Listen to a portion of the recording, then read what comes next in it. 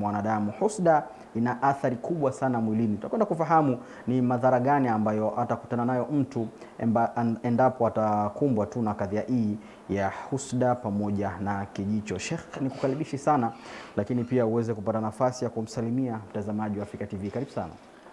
Shukran sana. Assalamu alaikum warahmatullahi wabarakatuh.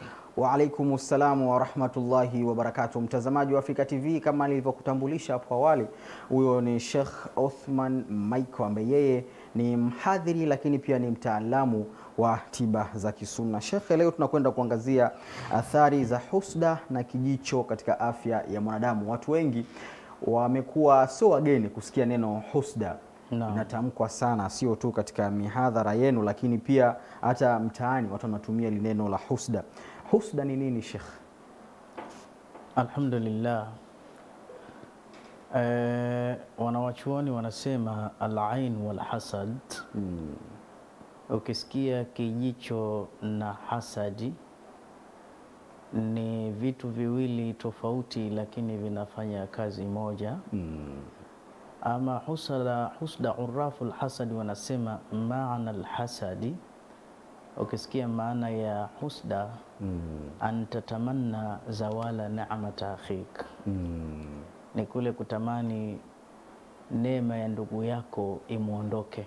mm. Lakini kauli ya pili wakasema maana alhasad bughdhu nema wa in lam tatamanna bizawalihi, mm -hmm. ni ile kuchukia neema ya mtu hata kama hukutaka imwondoke. Hiyo ndo maana ya taarifu ya husda. Husda. Naam. Naam, mtazamaji wa Afrika TV, kama ulikuwa hadhiri, basi umeweza kuisikia taarifu au maana. Leo utajitahidi kidogo na sisi kuongea ongea kama kuchanganya lugha ya Kiswahili na Kiarabu. Kwa hiyo e, unapokaa na mwanazuoni mkubwa kama huyu, basi lazima kuna vitu vitu fulani lazima pia na wewe uchagize kwa kuvichomeka hapo kati. Shekhe, husda umetoa taarifu yake, maana yake na, labda kwa haraka haraka, husda zimegawanyika katika vigawanyo vingapi au haina vigawanyo katika hili? E, husda ina vigawanyo vyake vingi tu. mm. Mm -hmm. Kigawanyo cha mwanzo kuna husda ambayo kwa Kiswahili tunasema ni hasadi mm. Uh, ile ya, ya, ya, ya, ya chuki au ya wivu, lakini pia kigawanyo cha pili ambacho nafikiri leo ndo tutakizungumzia mm. ni hasadi ya maradhi. Hasadi ya maradhi. Hasadi mm. ya maradhi ambayo inaleta mabalaa mengi. Naam, ndio ndio. Labda hutuje kutuelezea sasa hasadi ya maradhi ni ipi, lakini pia hasadi ya chuki ni ipi? Ah, Vizuri sana mm. kama nilivyokwisha kuanza, ndugu mtangazaji, mara ya kwanza kuzungumza kwamba maana ya hasadi ni kuchukia neema ya mtu au kutamani imwondoke, yani kuchukia mambo mazuri ya mtu. Hiyo ndo maana ya, ya, ya, ya husda ya chuki. mm. Ama hii ya maradhi, moja kwa moja inatokamana na mambo mawili. Ya maradhi, inatokamana na mdomo wa mwanadamu yani katika mdomo wa mwanadamu awe mwema au awe muovu awe mcha Mungu asiwe mcha Mungu, mdomoni mwake mna hasadi ya maradhi. yani binadamu ana sumu hizi, Mbili. moja inatoka mdomoni, nyingine inatoka machoni. Ikitoka mdomoni inaitwa hasadi, ikitoka machoni inaitwa kijicho, inaitwa aini. yani Yaani khulqia ndo Mwenyezi Mungu alivyotuumba, japo sasa. Inatoka pia kwa binadamu inakuja mpaka kwa mnyama, kwa sababu mnyama naye ana macho. mm. Inatoka kwa mnyama inaingia pia mpaka kwa majini, sababu majini nao wana sifa kama sifa za kibinadamu, ndio maana yake. Sawa sawa. Naam. na, mtazamaji wa Afrika TV, kama ndo kwanza umefungulia runinga yako, basi kipindi hewani ni daktari wako, na na tumekuwa na kawaida ya kuleta wataalamu mbalimbali wa afya, na leo tumekuja na mtaalamu wa tiba za kisunna, lakini pia ni mhadhiri wa Kiislamu Sheikh Othman Michael. Tutakuwa naye kwa dakika zote sitini katika runinga yako. Kwa hiyo kama unapenda karatasi, basi hebu chukua, alafu uanze kuchukua hizi summary ambazo shekhe anatupitisha na- nazo hapa hivi sasa. Shekhe, umetaja aini, umetaja pia hasadi, Naam. ukasema ni vitu viwili tofauti Naam. lakini vinafanya kazi moja. Labda tuangalie ni ipi tofauti ya hasadi na kijicho. Vizuri sana. Hmm. Tofauti yao kwa sababu tushasema sehemu zote mbili hizi zina sumu, zina madhara. mtu anapozungumza jambo la mtu japo hajalizungumza kwa ubaya, lakini akaona jambo zuri la mtu akalizungumza, umenenepa bwana, mtoto wako ana akili bwana, mm. inatakiwa kuna maneno kisharia yaseme, kwa sababu Uislamu unajua ile kuona kheri na kuisemea mm. lazima utangulize maneno ambayo Mtume kayafundisha. Usipotanguliza pale, Waswahili wanaposema mdomo unaumba, ni kweli mm. lile jambo linaweza likawa ule uzuri wake ukawa ubaya dakika hiyo, basi hii ndo inatoka mdomoni, ndo hasad.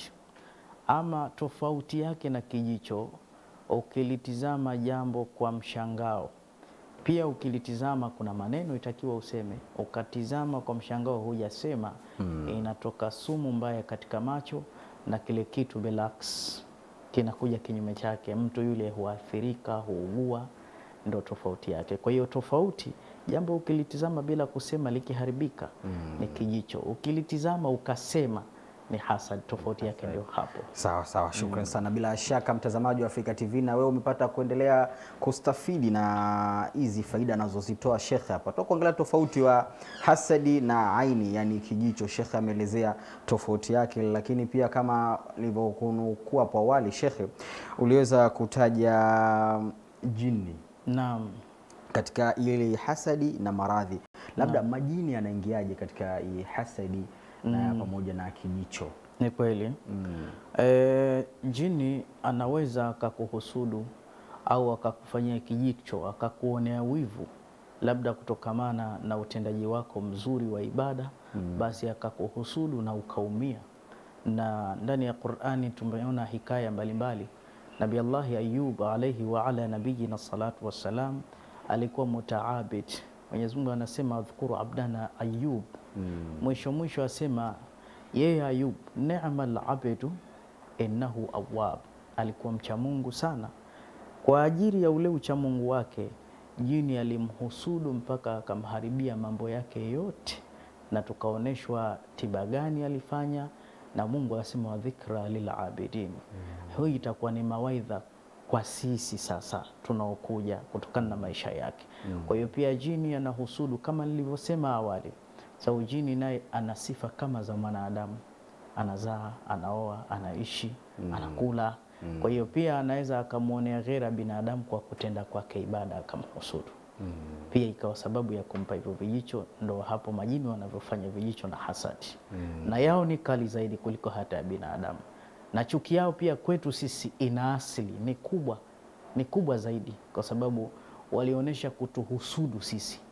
Eh, hata baba yetu Adam kabla hajatiwa roho ilionekana hasadi wazi wazi ya Ibilisi, na Mwenyezi Mungu aliizungumza kwa sababu Ibilisi alivyoona malaika wanakuwa na wasiwasi kiumbe alioumbwa kwamba pengine akawa mcha Mungu kuliko wao, alisema hapana, huyu nimemwona mimi ni ajwafu, ni mtu dhaifu, lan yatamallaka, hawezi kujimiliki, na ninasema mapema kama atapewa amri zaidi yangu tumheshimu, la uasiyannahu, mimi nasema mapema, sitojali ntamwasi, lakini akifanywa chini yangu, la uhlikannahu, huyu mimi nitampoteza, nitamwangamiza. Ndio pale Allah asema inni a'lamu ma tubiduna wama kuntum taktumun, najua mnaonidhihirishia na mnaonifichia, akikusudia hasadi, na chuki ya Ibilisi. Hata kabla mambo hayajawiva kuumbwa mwanadamu tayari ashakuwa na hasadi. Mm. na hasadi yake ni kwa sababu ya ile neema eh, aliokuwa nayo kunyang'anywa tukapewa sisi, kwa sababu kanat ljinni qabla linsani bialfa ya ama, miaka elfu mbili iliyopita kabla ya kuumbwa mimi na wewe, majini waliishi katika mgongo wa ardhi wakafanya fujo, fabaatha llahu ilaihim jundan min almalaika Mwenyezi Mungu akatumia kikosi cha majeshi ya kimalaika fataraduhum min jazail lbihar, wakafukuziwa katika fuo za bahari huko. Baada ya hapo ndo tukaitwa sisi, tukaletwa sisi, ndo maana ya kuitwa khalifa. Khalifa ni mtu anayekuja badala ya mwingine.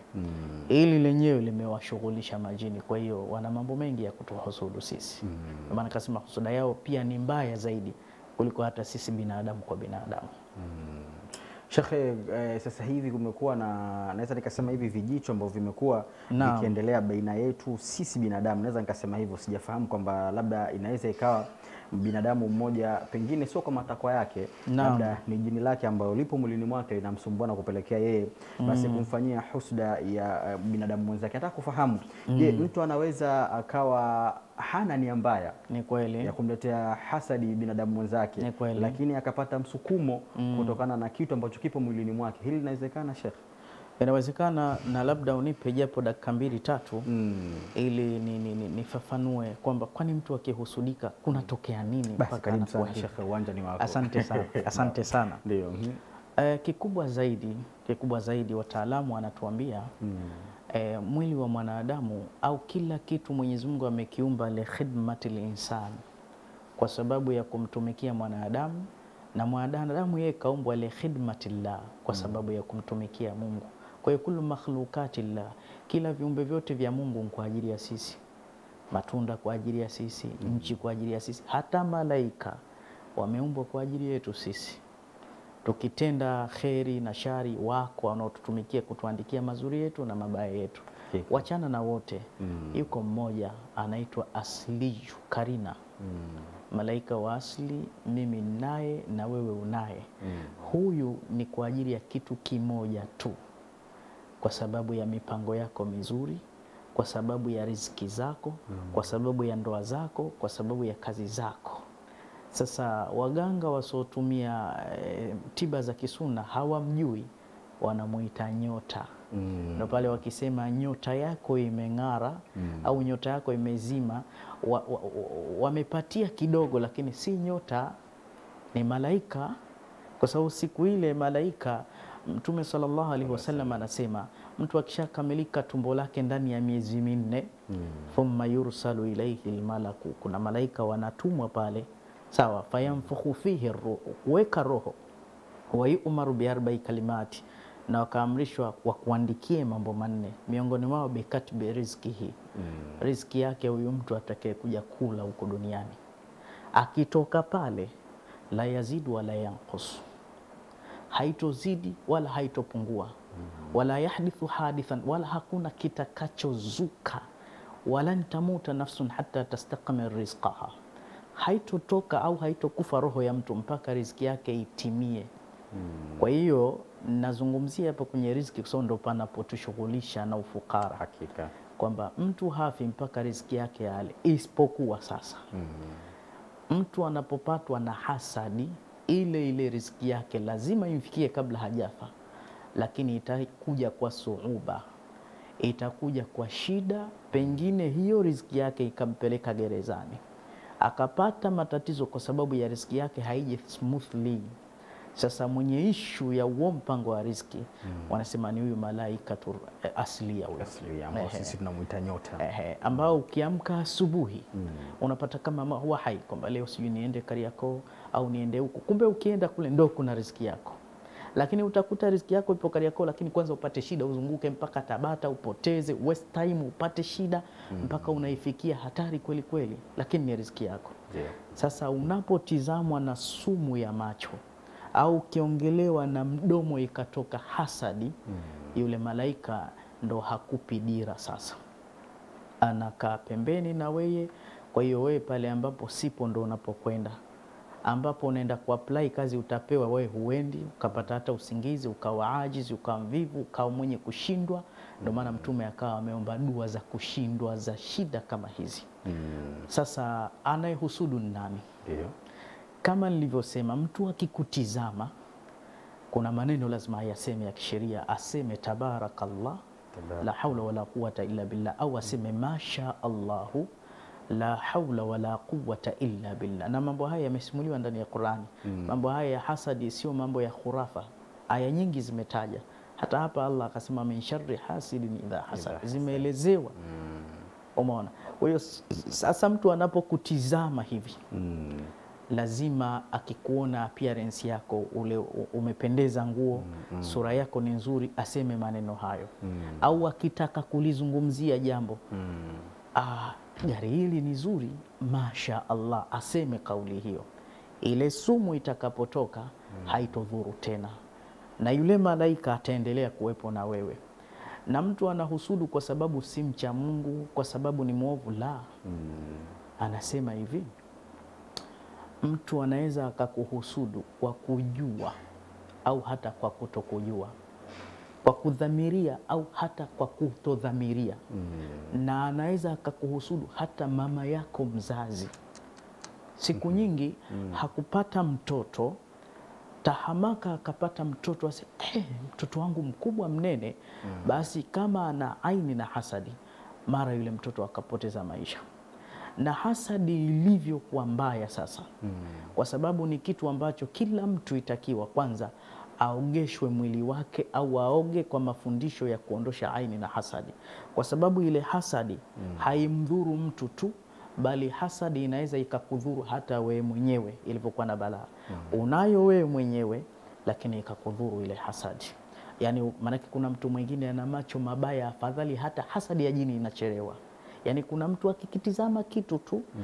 amenunua simu nzuri akatizama, mara akaiunguza.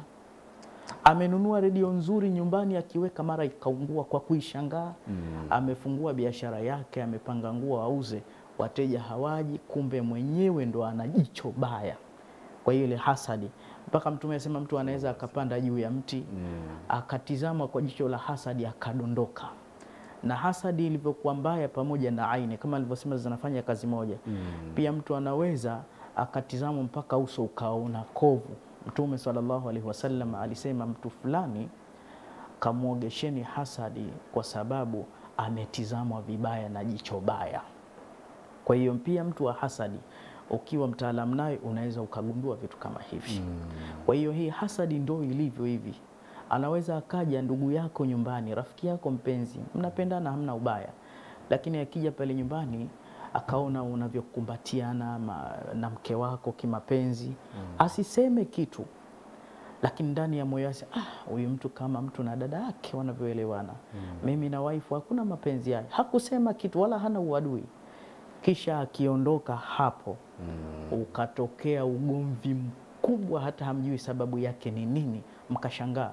Wanawachuoni wanasema alivyokuja yule pale aliacha jicho baya la hasadi.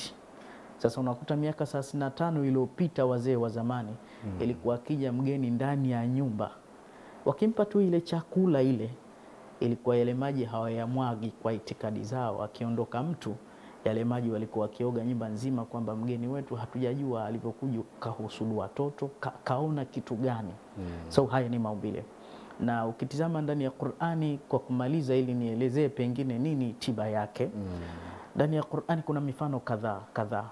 Nabii Allah Yaqubu alivyopoteza watoto wake wawili mm. Ibnul Yamini na Sina Yusuf alayhi wa ala nabiyina salatu wassalam, aliwaambia wanaye, ya baniya, wanangu, hembu nendeni mpaka Masri fatahassas mkatafute tafute kumtafuta Yusuf na mdogo wake, wala hata yasu min rauhillah, msikate tamaa na rehma za Mungu. mm.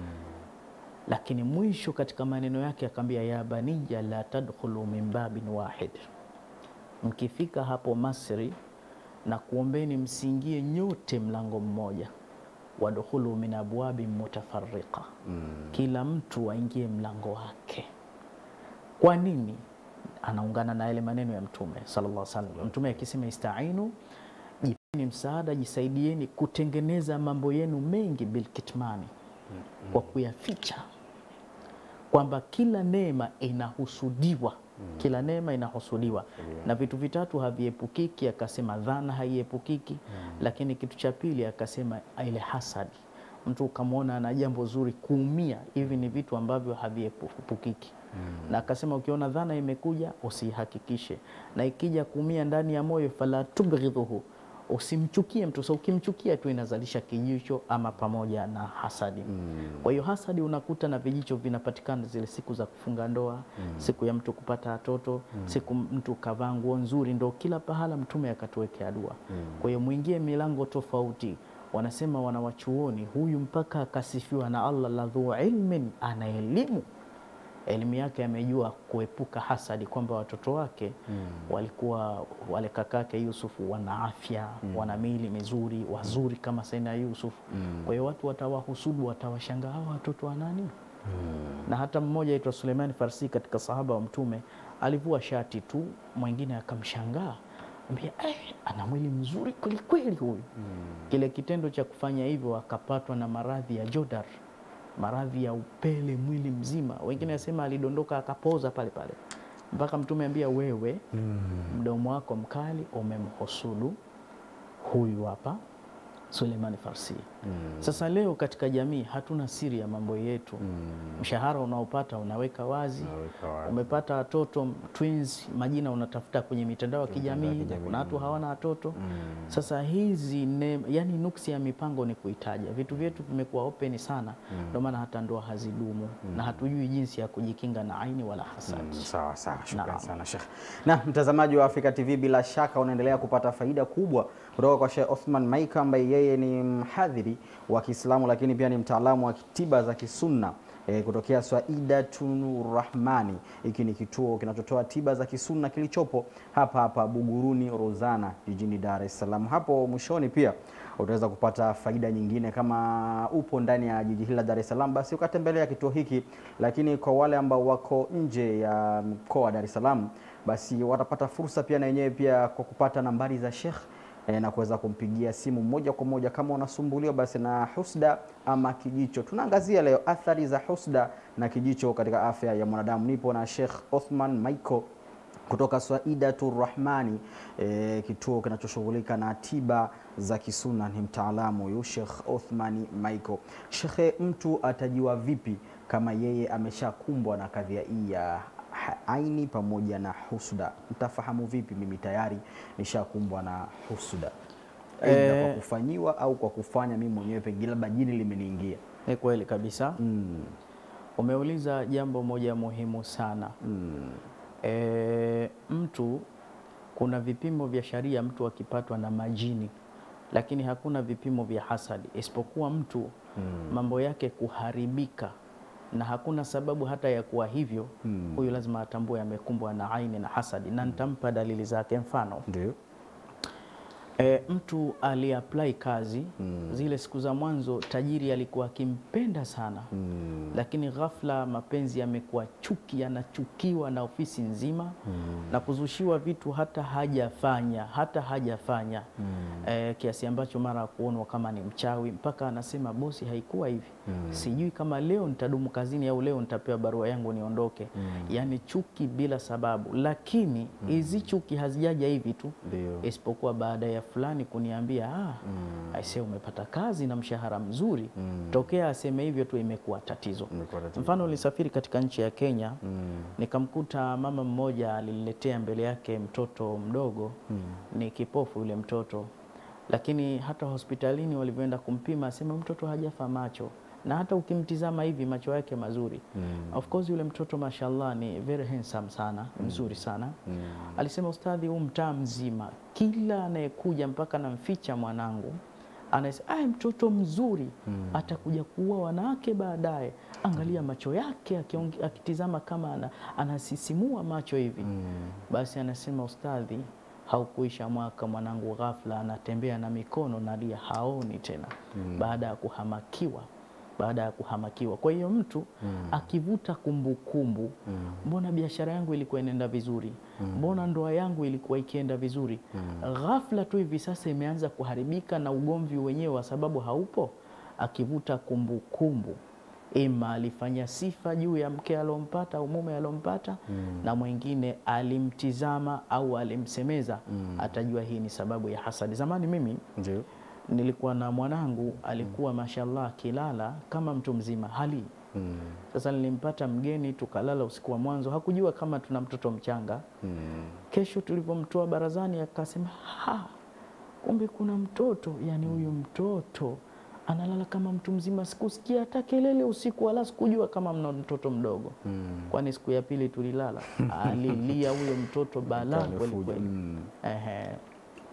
Kwa hiyo mdomo unaumba na kushangawa na, na, na, na yakishatokea hayo lazima ufanye harakati sana tiba yake, kwa sababu hasadi ilivyo tabia yake mm. yantakil min halatin ila halatin ukhra, yani hasadi ilivyo ikikupata huwa inaingia moja kati ya mambo matatu hasadi. mm. wanasema hasadi inaweza na, na, na, na nazidi kulijibu swali lako kwamba utajuaje. Wanasema hasadi inaweza ikaingia sehemu ya kwanza kwanza katika nyoyo za watu mm. yaani ikiingia katika nyoyo za watu mm. mtihani unaopata wewe kwanza ni kuchukiwa na kila mtu mm. yaani unachukiwa bila sababu. Tena inavyouma, mara nyingine unachukiwa na mzazi wako, hasa baba na mama hawakupendi, atakupenda nani? Na si kwamba unawafanyia mabaya watu, hata ukifanya zuri ni mda huo huo washasahau, hawajui heshima yako. Kwa hiyo kuna baadhi ya watu mm. ni wema, lakini automatically wanachukiwa mpaka anasema mimi nina damu ya kunguni. Basi wanasema tambua, wewe hasadi imepiga katika nyoyo na ukichukiwa mpaka hata wanyama hata kuku anakuchukia. Utakuta ukipita kuku haparui watu, wewe anakuparua, anasema wewe. Ndo pale mtu anasema wewe kaoge maji ya baharini bwana. mm. Ehe. Na anasema isipoingia hapo, inaweza ikaingia hasadi pia katika maradhi, ukawa unaumwa japo kichwa tu, japo alsazi tu, lakini hupati dawa. Unatembea na maradhi hayo, vidonda hivyo miaka kumi. Vidonda gani vya tumbo hivi? Kumbe vimeingia kwa njia ya hasadi, pia inaleta hasadi. Lakini pia sehemu mbaya wanasema inaweza ikaingia katika iktisadiyan, katika economical, katika uchumi, na hapo ndo baraa. Wanawachuoni wasema ikiingia katika uchumi ilivyokuwa hatari, la yadri lghaniyu mata yailu, tajiri hajui saa ngapi atafirisika, kwa sababu ni kadari ya Allah. Unaweza ukatafutiwa sababu za kufirisika huko mjini, una majumba mengi, lakini ukawa unauza moja baada nyingine, ukaenda kupanga kijijini na, na hela ya kodi ikakusumbua. Ule ukali wa hasadi. Ushahidi tulimwona Nabii Allahi Ayubu, hasadi ilianza kuingia kwenye mali mm. ilivyomaliza, kwa sababu hajaondosha hasadi, mm. ikamtafuna ikaua watoto wake wote kumi na nne ndani ya siku nne. Sasa ilivyoua watoto thumma madha, kisha nini? Hajaitibu bado, ikazidi kumtafuna, ikafarikisha marafiki, faraka asdika, wote wakamkimbia, lakini bado hajatibu, mm. ikazidi kumshambulia uh, aka- fabtala Allahu fi jismihi, akapigwa na maradhi katika mwili, la yastati an yakum, hata kusimama hawezi. Mm. Sasa ndo ushatibu, bado hajatibu, ikaongezeka, watu wakasema tumtenge, anatunukia hapa katika mji alivyotengwa huko hajaondosha bado hasadi, yuko jalalani. Mm. Mke wake akawa anaenda kutafuta vibarua. Sasa kwa sababu anaishi na mtu mwenye hasadi hafanikiwi, Mm. wakimjua sema huyu mfukuzeni, ni mke wa aibu, atatuletea maradhi ya mume wake. Kwa hiyo akawa wametengwa.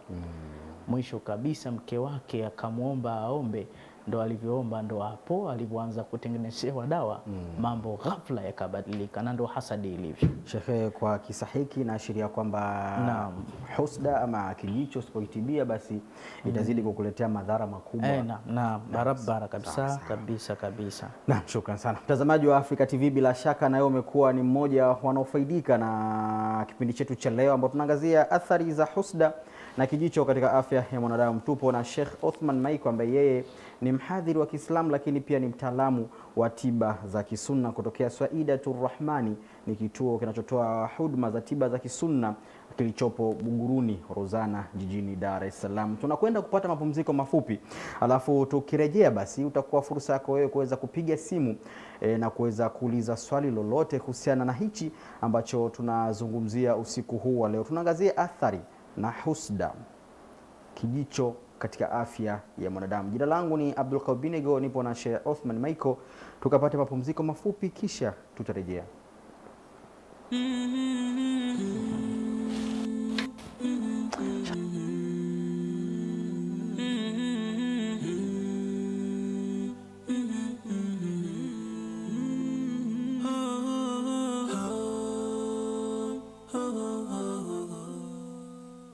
Assalamu alaikum warahmatullahi wabarakatu. Wapendwa mnaotizama African TV, ujumbe huu naupeleka katika kila moyo wa binadamu anayependa kujiwekea akiba siku ambayo mali na watoto haitofalia kitu, yauma la yanfau malun wala banun. African TV kama mnavyoelewa, inahitaji juhudi ya kila mmoja wetu. Kwa hivyo ninawaombeni, na hii ni kama sadaka jaria, kwa sababu zile ilmu zinazopeperushwa na mambo ya kheri yanayopeperushwa ambayo yanawafikia mamilioni ya watu, wewe pia hukosi malipo katika kheri kama hiyo. Kwa hivyo hiyo mitandao ambayo itajitokeza hapo chini yote ya Tigo, ya Airtel, ya Zentel, yote ndiyo mbinu ya kuutuma mchango wako kusaidia Africa TV. Fanya hivyo na chukua ujumbe huu uwafikishie wale marafiki zako.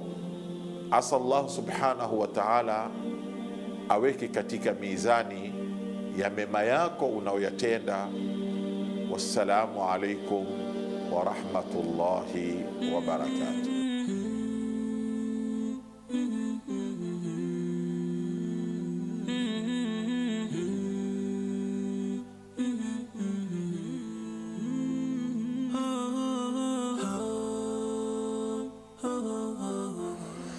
Nam, ahlan wa sahlan wa marhaban bikum mtazamaji wa Afrika TV, tumerejea tena e, mara tu ya kupata mapumziko mafupi. Tumepata fursa ya kuwa na Sheikh leo Othman Maiko ambaye ni mara yake ya kwanza kutembelea studio zetu hizi mpya, so mgeni Afrika TV, lakini kwenye studio zetu hizi mpya, basi yeye amekuwa ni mgeni siku hii ya leo. Tunaangazia athari za husda na kijicho katika afya ya mwanadamu. Jina langu ni Abdul Kabinego, nipo na Sheikh Othman Maiko. Nilikupa taarifa kwamba tukirejea basi simu zitakuwa wazi hivi sasa kwenda kupiga simu basi kuuliza swali lolote kwa Sheikh Othman Michael kuhusiana na mada yetu ambayo tunaangalia usiku wa leo. Tunaangazia athari za husda na kijicho katika afya ya mwanadamu. Laini zipo wazi kupitia nambari ambazo zinaonekana hapo kwenye runinga yako. E, unaweza ukapiga simu hivi sasa kuungana nasi moja kwa moja kutokea hapa Mnazi Mmoja jijini Dar es Salaam, kupiga simu na kuuliza swali lolote kwenye laini ya simu. Assalamu alaikum warahmatullahi wabarakatuh. Mtazamaji wa Fika TV, asalamu alaikum. Asalamu hali vipi? Alhamdulillah. Sheikh, unaitwa nani? Unapiga simu kutoka wapi? Mimi naitwa Abdalla Bakari Omari, Abdallah napiga simu kutoka Tandale. Abdallah Bakari kutokea Tandale. Karibu sana, tupo na Sheikh Othman Maiko, tunaangazia athari za husda na kijicho katika afya ya mwanadamu. Na swali lolote kuhusiana na mada hii? Eh, Sheikh, tunakuomba kidogo upunguze sauti ya TV yako tuweze kusikizana vizuri. ah, nimepunguza sauti ya TV. Mm, mm, karibu sana. Ah, Asante. Mimi katika hayo maelezo ya athari ya ya kijicho Mm, mimi na, na nahisi kama imenipata kwa sababu mm, mimi katika ndoa yangu kulikuwa kuna misukosuko mikubwa sana. Mpaka hivi sasa ninavyozungumza mi na wewe mm, kwamba nilishaacha mpaka na mke. Mm, alafu misukosuko ilikuwa mingi kazi. Mm. ni muda mrefu tangia mwaka elfu mbili na kumi na tatu mpaka leo sina kazi. Mm, na iko hivyo yani hata kazini uelewano unakuwa ni mdogo. Mm. nikipata kazi sichukui muda mrefu nakuza mm. Mm. Basi sawa, usiwe na shaka. Sheikh Othman Maiko ataweza kukupa majibu yako kama unataka kufahamu no. nini inaweza ikasababisha hii, pengine labda ni hasadi ama kijicho ambacho kinakuathiri wewe mpaka hivi sasa. Huna ndoa lakini pia huna kazi, na kama ukipata kazi basi haichukui muda mrefu. Mm. E, basi usipate wasiwasi wote, Sheikh ataweza kupa majibu, na kama kuna tiba yote basi utaweza kufika. Unapatikana Tandale, bila shaka ni hapa hapa Dar es Salaam, kwa hiyo utaweza kufika pale Buguruni e, kwenye kituo chake na kuweza kupata tiba. sawa sawa shukran sana, endelea kufuatilia fika TV. inshallah kheri Na mtazamaji wa afrika TV, bado laini zipo wazi, unaweza ukapiga simu na kuuliza swali lolote kama alivyofanya ndugu yetu Abdallah Bakari kutokea Tandale, ambapo yeye anahisi pia amekumbwa na kadhia hii ya husda pamoja na kijicho. Kwenye laini ya simu, assalamu alaikum warahmatullahi wabarakatuh. Mtazamaji wa Africa TV, assalamu alaikum. Naitwa nani? Unapiga simu kutoka wapi? Napiga simu kutoka Arusha. Tunakuomba upunguze sauti ya runinga yako kutokea Arusha na utuelezee unaitwa nani? Naitwa Mariam.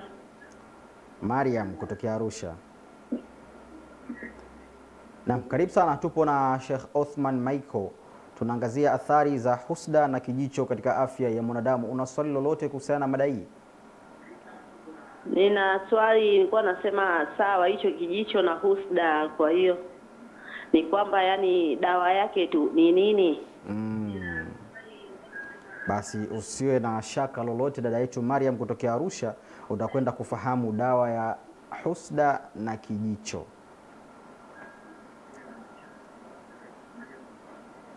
Na mtazamaji wa Afrika TV, huyo ni Mariam kutokea Arusha akiacha swali lake, hata kufahamu dawa ya husda na kijicho ni nini. Bila shaka hapa Sheikh Othman Maiko ataweza kutuambia dawa yake ni nini. Kwenye laini ya simu, assalamu alaikum warahmatullahi wabarakatuh. Waalaikum salam warahmatullahi wabarakatuh. Tunakuomba ongeze sauti yako, alafu utuambie unaitwa nani na unapiga simu kutoka wapi?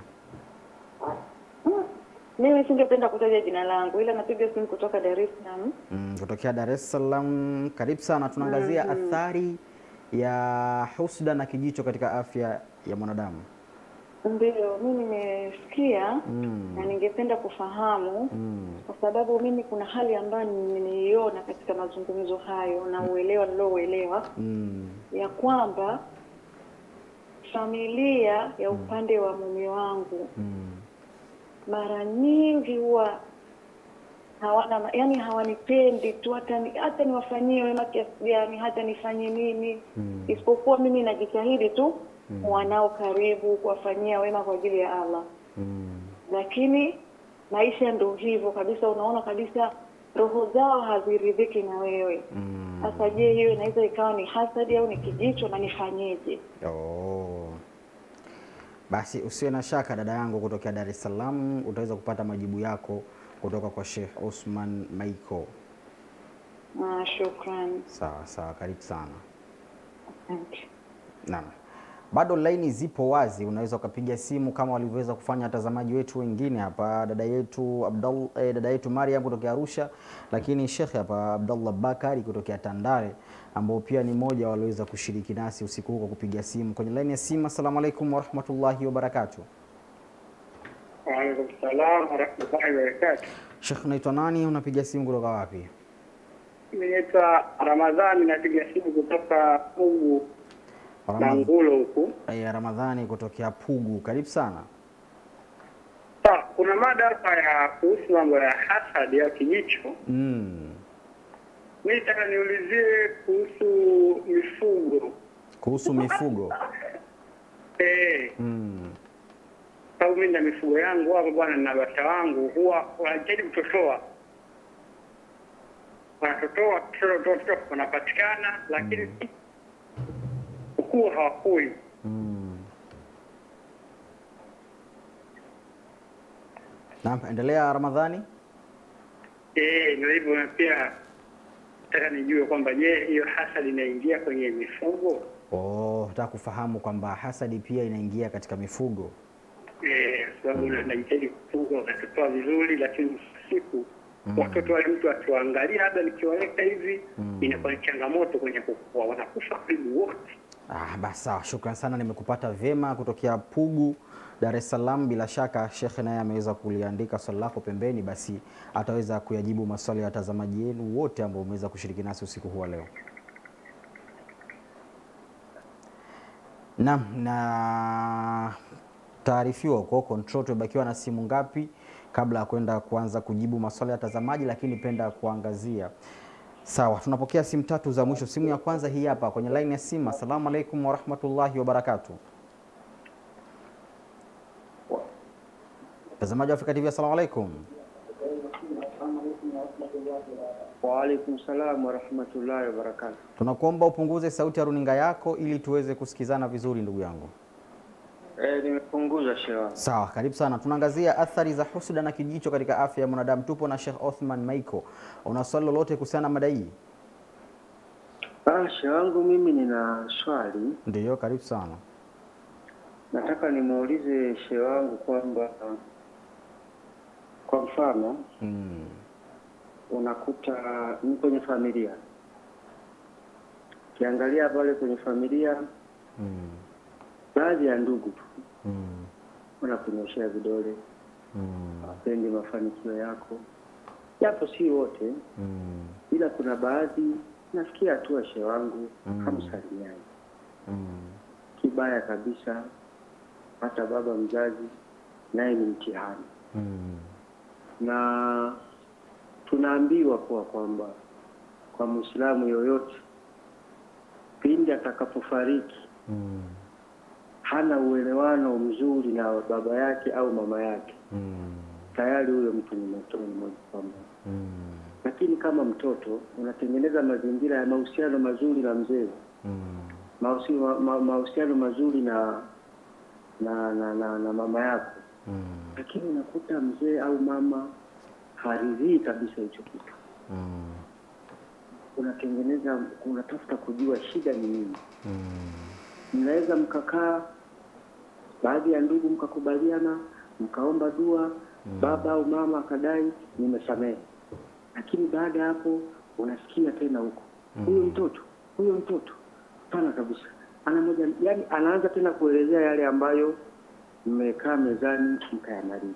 Mm. Hicho kitakuwa ni kijicho, kusta au nini? Oh.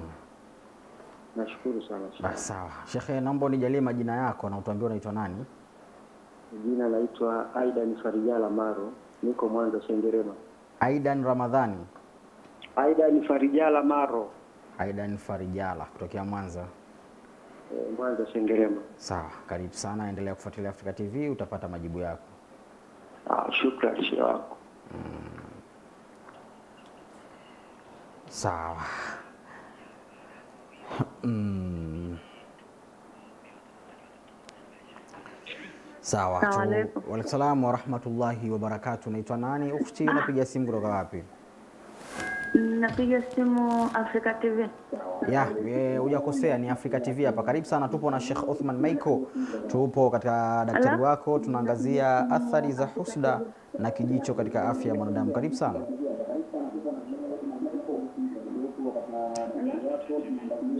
Tunaomba upunguze sauti ya runinga yako tuweze kusikizana vizuri. Nimeshapunguza. Sawa, tuambie unaitwa nani, unapiga simu kutoka wapi? Naitwa Zainab. Zainab nani? Zainabu Ramadhani. Zainab Ramadhani kutokea wapi? Natoka Ubungo. Kutokea Ubungo. Zainab Ramadhani, karibu sana. Tunaangazia athari za husda na kijicho katika afya mm. ya mwanadamu. Una- Swali langu Mm. swali langu ndo hapa kwa nataka niulize. Ndio. Nataka nijue hiyo hasadi na husda inatibika vipi, na je, kama imeingia katika familia labda mm. familia nzima mm. yani imetokea kwamba mmepata hiyo hasadi mm. je, mnaweza mkatibiwa wote katika hiyo familia nzima mm. labda mzazi wako, ndugu zako na we mwenyewe. Alafu pili, mm. mimi nina biashara mm. lakini biashara yangu kwa sasa hivi haiendi sawa. Je, ni pia ni hiyo husda na hasaji, na je mm. nitaitibia vipi ili niweze kusimama kama mwanzo? Oh. Maswali yangu ni hayo tu. Sawa, shukran sana dada Zainab kutokea Ubungo. Shekhe ameyapata vyema maswali yako, na mimi pia nimeanakili pembeni hapa, utakwenda kuyasikia majibu baada ya muda mfupi. Ah, Asante, nashukuru. Ah, sawa, salimia sana Ubungo. Naam, tumebakiwa na simu moja ya mwisho. Ni nani ambaye anakwenda kutufungia simu usiku huu wa leo? Waalaikum salam wa rahmatullahi wa. Unaitwa nani? Unapiga simu kutoka wapi? Tunaomba upunguze sauti ya runinga yako tuweze kusikizana vizuri. Eh, napunguza. Naitwa Idaya kutoka kutoka Kitunda. Hidaya kutoka Kitunda, karibu sana. Tunaomba bado upunguze sauti.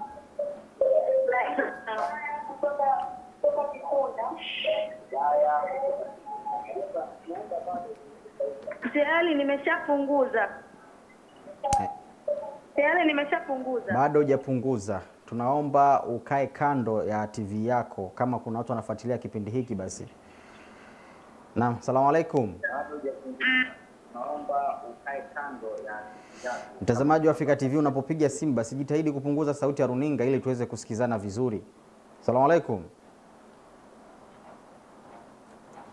Salamu alaikum.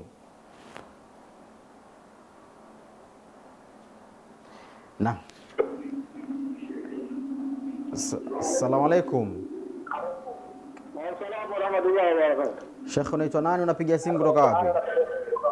Mimi naitwa niko Magogeni. Ali, kutokea wapi? Magogeni.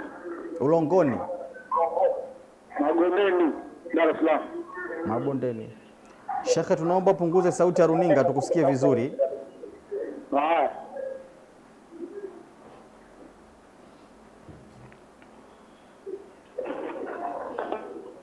Ali, eh? Ah, naona hawapo tayari basi, na kufikia hapo basi tutakuwa ndo tumetamatisha upokeaji wa simu kwa usiku huu wa leo. Shekhe, tuende tukajibu maswali ya watazamaji kwa haraka haraka, ambapo hapa tunakwenda kumwangalia wa kwanza kabisa ni Abdallah Bakari kutokea Tandale. Ah, Anasema yeye anahisi anayo hiyo husda na kijicho kwana mpaka sasa hivi anapiga simu, hayupo katika ndoa, lakini pia hana kazi tangu mwaka 2013 na kama akitokea akipata kazi basi inakuwa haieleweki, muda so mrefu, basi kazi yenyewe pia anaacha, aidha kwa kuachishwa ama anaacha yeye mwenyewe. Anataka kufahamu hii ni husda na kijicho, na kama ndiyo, huyu tutamsaidiaje? E, ni vyema kwanza kutambua Mm, hakuna tabakati, hakuna watu maalum kwamba ndo lazima wapatwe na vijicho. mm, Namjibia swali lake, lakini watu wajue ikiwa mitume wamepatwa na vijicho mm, basi hata maustadhi na mashekhe wana haki ya kupatwa na vijicho kama mm. hawajachukua tahadhari. mm, Huyu bwana Abdallah Bakari huyu amepatwa na kijicho pamoja na husda kutokamana na maelezo yake. mm. Naam. Sawa sawa. Huyu mwingine amesema yeye hajajitambulisha jina. Haya maswali mengine ya tiba na dawa tutaunganisha kwa pamoja mwishoni. Sawa, Anasema hali ambayo ipo nayo sasa hivi na familia ya mume wake, yani ukweni ni sio hali nzuri, manake wanamchukia Naam. yeye, hata akijitahidi afanye mazuri vipi, mm. lakini bado anataka kufahamu, je, hii ni hasadi na kama ndiyo afanyaje? Maana ameshafanyia wema sana, lakini bado waendelea kumchukia. Kitabia mtu akiwa hana tabia nzuri mm. anaweza akawa sababu ya kuchukiwa, lakini kama ana tabia njema na hagombani na watu na anawafanyia mazuri, hakuna jibu isipokuwa naye ana husda mm. pamoja na kijicho. Ndo maana tena huyu husda yake imeingia kwa njia za nyoyo za watu, ndo maana watu wake wa karibu wanamchukia. mm. Eh, kwa hiyo huyu naye pia ana athari hizo. Na sawa sawa sawa. Na mtazamaji wa Africa TV, hivi sasa tunakwenda kuangazia eh, e, Ramadhani kutokea Pugu ambaye yeye anasema e, mifugo pia inaweza kutana na hasadi, maana ana mifugo yake wanalalia vizuri na wanatotoa vizuri, lakini mifugo haikui. E, ni kweli nilimsikiliza vizuri kwa umakini swali lake. Huyu mm. naye amepatwa na aini na hasadi kwa sababu pia Nabii Allahi Ayub mm. pia mifugo yake ishawahi kupata hasad. Kwa hiyo hasadi inaingia kwenye mashamba, mm. kwenye mifugo. Kwa hiyo huyu bata wake ile kutotoa zaidi mm. ametizamwa, wametizamwa kwa macho, ndo maana wanakuwa wanakufa bila mpangilio. mm. Kama amechukua tahadhari za, za, za, za ufugaji mm. lakini anaona matokeo sio chanya, basi moja kwa moja ni macho yameingia katika wanyama wake hawa. Mm, sawa sawa.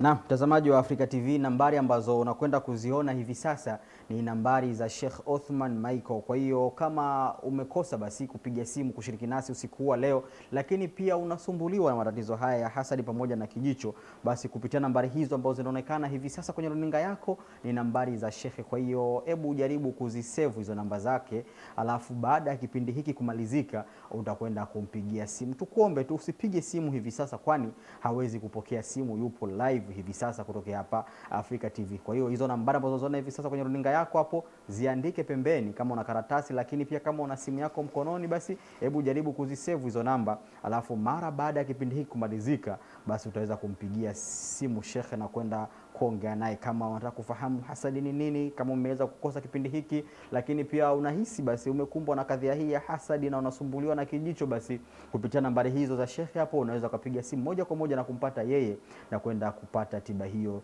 ya hasadi. Nambari za simu ndo hizo zinaonekana hapo chini ya runinga yako. Aida ni kutokea Mwanza, shekhe anasema yeye baadhi ya watu wa familia yake wamekuwa hawapendi mafanikio yake.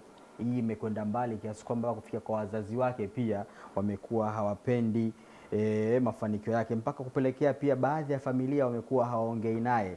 Yeye amesema pia kwamba amefahamu mtu akifariki Muislamu, lakini amekuwa haongei na Muislamu mwenzake, basi mtu huyu moja kwa moja motoni. Anataka kufahamu hii, je, ni husda?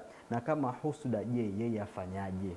E, kwa sababu jambo lake huyu liko wazi huyu mm. itakuwa ni ile hasadi ya mara ya kwanza tulioisema ya chuki tu. ya chuki. Yeye amepatwa na hasadi ya chuki mm. sio hasadi ya maradhi. Kwa hiyo amepata bahati mbaya, mm. mahasidi wamekuwa watu wake wa karibu, sana. na ni kawaida hasidi huwa hana sababu. mm. Kwa hiyo huyu ni, ni muamala tu na ndugu zake si mzuri, wanamhusudu Sawa sawa. lakini ikiendelea itaingia pia kwenye maradhi. Lazima achukue tahadhari mm. kama taa nyekundu ilivyotuwakia ndani ya Qur'ani kutu, kutuonya kukaa vizuri na mahasidi. Sawa sawa.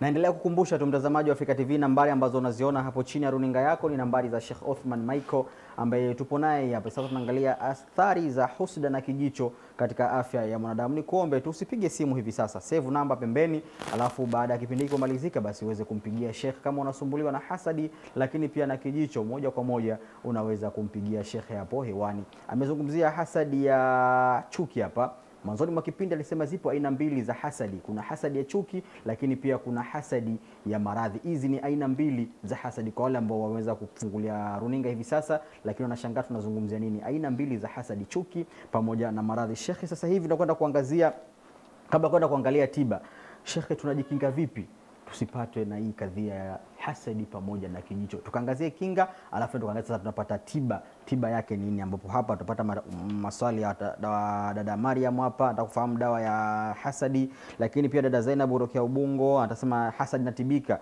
na kama inatibika, je, tiba yake ni ipi? Lakini pia akataka kufahamu, je, kama familia nzima mmekumbwa na kadhia hii ya hasadi, mnaweza mkatibiwa wote kwa pamoja au akishatibika mmoja basi inatosha? Lakini pia swali lake la pili anasema biashara haiendi vipi, ni hasadi?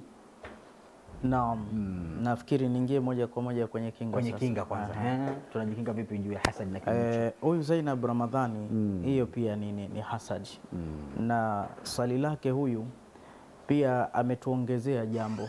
Pia, hasadi inaweza ikaandama familia nzima.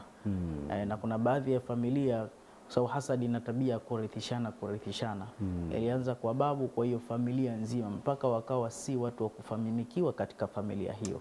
Kuna hasadi mm. inatembea na wengi yamewakuta sana. mm. Kwa inaweza kuingia kwenye biashara yake ikawa ni hasadi. Nafikiri kiu ya watu wengi mm. wanataka kujua dawa ni nini, na mimi niwaambie mm. wanipe masikio ya moyo kwa uaminifu kabisa, niwape tiba za sharia. mm. Lao ni kuniombea mimi dua, mm. kile kinachowezekana nafikiri watakifanya hivi sasa. Wakiamka asubuhi mm. wataepukana na jambo la hasadi. Sawa sawa, karibu sana Sheikh.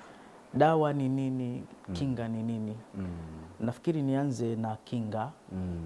E, alafu baadaye niseme dawa. Sasa mm. kinga ya mwanzo, kinga ya mwanzo, wewe unayeona neema ya mwenzio, ukiiona ukitaka kusema au ukiishangaa, anza kwa maneno haya, sema masha Allahu la haula wala quwata illa billah. Imekuja nasi ya Qurani, wa idh dakhalta jannataka kulta masha Allah au sema tabarakallahu la haula wala quwata illa billah.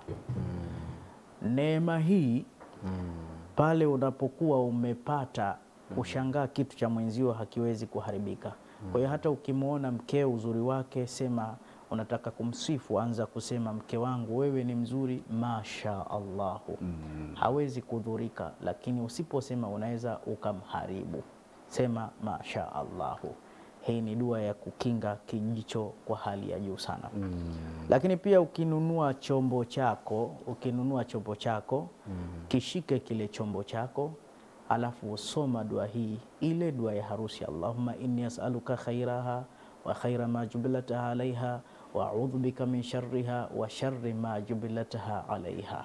Hii pia vile vile ni dua na ni kinga ya kijicho, na hata mke naye akiolewa pia unamsomea dua hiyo hiyo Allahumma inni as'aluka khairaha mpaka mwisho. mm. Hii ni dua ya kinga ya kijicho. mm. Kinga nyingine ya kijicho, mm. unapovaa nguo mpya kuna dua zake Ndio.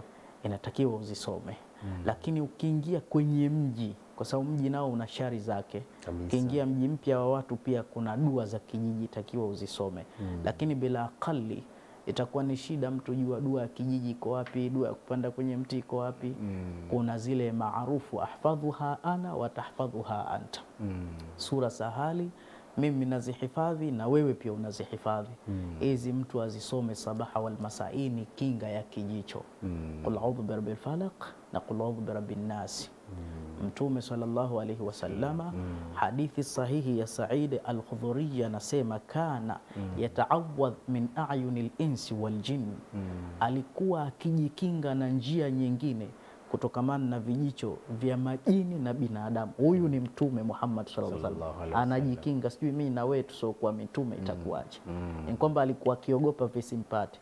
falamma nazalat hadhihi uh, falamma nazalat muawidhatain, zilivyoshuka qul a'udhu birabbil falaq na qul a'udhu birabbin nas, akhadhahuma wataraka masiwahuma. Ma siwahuma akawa akazichukua akawa anadumu kusoma kila siku asubuhi na jioni, na akaacha zile njia nyingine alizokuwa akijikinga nazo. Kwa hiyo kinga nyingine ni hii hapa. Hii ni kinga, sio tiba. Sio tiba. Ikiwa kisha kupata sasa, Eh, nishakupata. Sasa nisikilize nikupe dawa yake. Sawa, karibu sana Sheikh. E, maanake bwana, mm. usidanganyike kwamba shekhe, hebu nipigie rabbana niondokewe na kijicho. Hiyo habari hakuna. mm. wati dhi kulli haqqin haqqahu, kila kitu kina taratibu yake. mm. E, ukiingia toilet ukaomba dua ya msikitini, kweli umemtaja Allah, itakubaliwa? Hapana. Haiwezi kubaliwa, isipokuwa kila kitu kina pahala pake. Dua bwana ya hasadi, mm. kwanza jamii tuizungumzie, itambue mambo ya hasadi yamesimuliwa ndani ya Qur'ani. Kwa hiyo dua au kinga eh, tiba ya hasadi, ukikumbuka fulani aliniambia umenenepa, baada ya kusema vile nikaanza kuumwa na konda, yule ndo hasidi wangu, lakini pamoja ndo hasidi mm. ndo tabibu wangu. Inatakiwa umfuate yule bwana umwambie, kwa bahati mbaya hujakusudia. Ule ni husudu, ulinitizama vibaya na jicho, mm. yale maneno ulioyasema, sasa mimi naumwa. mm. Kwa hiyo sasa nataka unizingue nipoe, mm. unizingue nipoe. nipoe. Mm. atakavyokuzingua inatakiwa hivi, najua haitofahamika jambo hili na litakuwa gagaziko, lakini wacha niliseme Ndio. inatakiwa lichukuliwe beseni na maji kama 2 liters au lita tatu.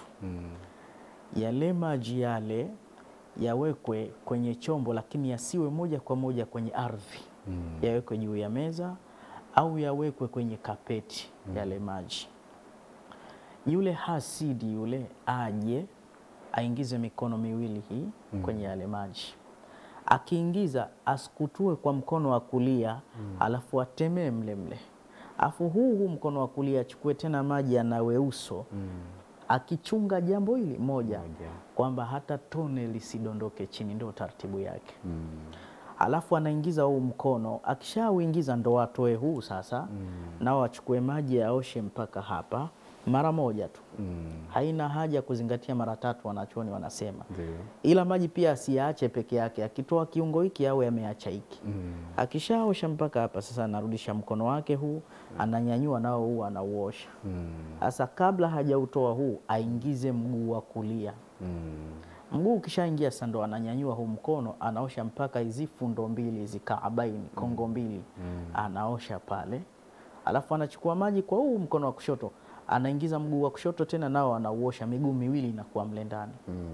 Akishamaliza hapo, achukue maji tena kwa mkono wa kushoto, apanguse goti la mguu wa kulia, mm. kisha achukue maji kwa mkono wa kulia, apanguse goti la mguu wa kushoto, mm. kisha baada ya hapo achukue nguo yake pindo la ndani aikunje kwa nje hivi, yani hivi kwenye pindo mm. ile sehemu ya ncha tu airoeshe kwenye yale maji, ile nguo yake alovaa mm. aloeshe kwenye yale maji, ikishakutana atoke. Kitendo hicho alichokifanya, la haula wala quwwata. hiyo ndio tiba. Yachukuliwe yale maji, apewe mahsudu.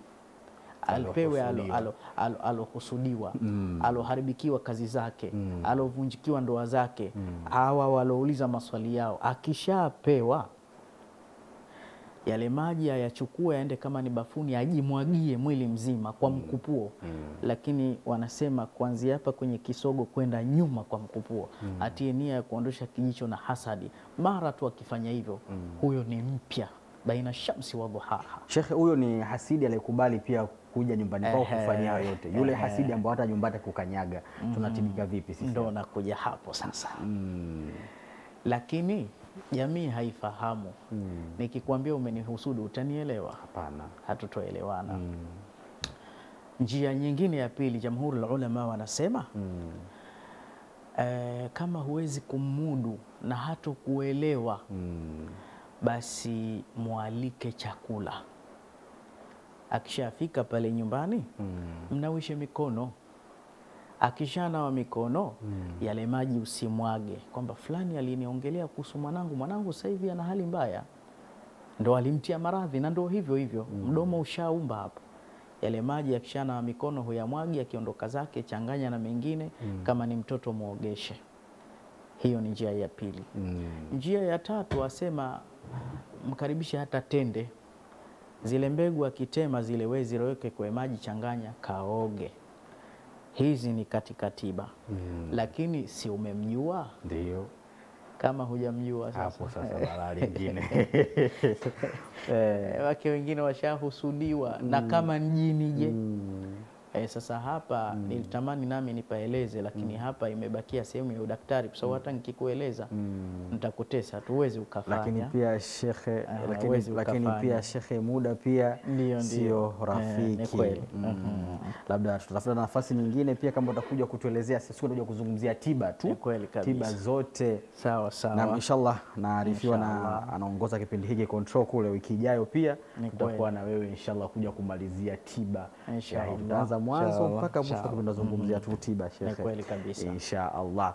Na mtazamaji wa Afrika TV, nambari za simu hapo za shekhe zitawekwa hewani muda so mrefu, na ndugu yangu hapa mwongozaji wa kipindi hiki producer mwenyewe super duper producer Jumanne Mulewa. Nambari za simu ndo hizo zinaonekana kwenye runinga yako. Kupitia nambari hizo basi unaweza kupiga simu kwa Sheikh baada ya kipindi hiki kumalizika na hujafahamu kuhusiana na uh, husda pamoja na kijicho, Shekhe atakupa maana halisi ya hizo maneno. Lakini pia kama unasumbuliwa pia na maradhi hayo ya husda pamoja na kijicho, umehusudiwa au pengine wewe ndo una kijicho, pengine ujijui kama unacho, lakini ukimwangalia mtu basi unakuwa huyo mtu anapatwa na ma madhara. Lakini kama unaangalia biashara ya mtu, biashara pia isongi, pengine wewe pia una kijicho, pengine sio kupenda kwako, labda ni jini tu ulipo ndani ya mwili wako, kama vile kusema shekhe hapa. Kwa hiyo kupitia nambari hizo basi utapata msaada wa kutosha kutoka kwa Sheikh Othman Michael. Baada kufikia hapa, sisi hatuna la ziada. Nishukuru timu nzima iliyofanikisha matangazo haya moja kwa moja. Nyuma ya kamera alikuwepo Saidi Azizi, lakini upande wa sauti na maelekezo Idrisa Mwaita, kwenye uchanaji picha ni Jumanne Mlewa, kwenye upande wa social media zetu ulikuwa live pia YouTube, alikuwa anaisimamia vema kabisa Isa Nguchunki. Langu jina ni Abdul Kaubinego, nipo na Sheikh Othman Michael. Tuwatakie tu utazamaji mwema wa vipindi vinavyoendelea. Alamsiki.